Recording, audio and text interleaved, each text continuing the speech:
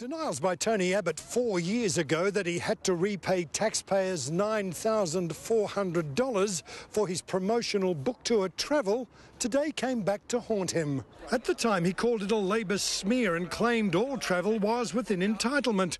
Freedom of Information on the No Fibs website found the paper trail from the Finance Department, photocopy of a cheque, and a warning from the Minister of State. My office inadvertently booked some travel uh, uh, as official, which should not have been booked that way. Mr Abbott's office says scores of MPs from all sides are similarly caught out.